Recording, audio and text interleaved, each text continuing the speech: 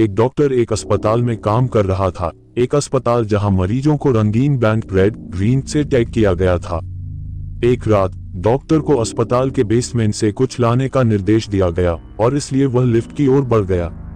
Lift के दरवाजे खुले और अंदर एक मरीज़ थी, जो अपने काम से मतलब रखती थी।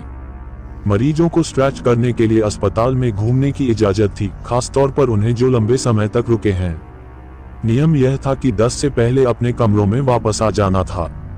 बेसमेंट का नंबर दबाने से पहले डॉक्टर मरीज़ को देखकर मुस्कुराया। उन्हें यह असामान्य लगा कि महिला के पास पहले से ही बटन दबाया हुआ नहीं था। उसने सोचा कि क्या वह भी बेसमेंट की ओर जा रही है।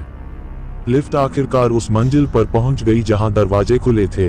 कुछ ही दूरी पर एक आदमी लिफ्ट की ओर लंगड़ा कर चल रहा था और घबराहट में डॉक्टर ने लिफ्ट का बटन बंद करने के लिए ज़ोर से पटक दिया। आखिरकार यह किया और लिफ्ट वापस ऊपर की ओर बढ़ने लगी। डॉक्टर का दिल तेज हो गया। आपने ऐसा क्यों किया? वह लिफ्ट का इस्तेमाल करने की कोशिश कर रहा था। महिला ने कहा, नाराज़। क्या तुमने उसकी कलाई देखी? डॉक्टर ने पूछा, यह लाल था। बीती रात उनका निधन हो गया। मुझे पता होगा क्योंकि मैंने उनकी सर्जरी की थी। महिला ने अपनी कलाई उठा ली। उसने लाल देखा। वह हँसी। दोस्तों अगर आपको मेरी यह कहानी पसंद आई हो तो लाइक, शेयर और सब्सक्राइब ज़रूर करना।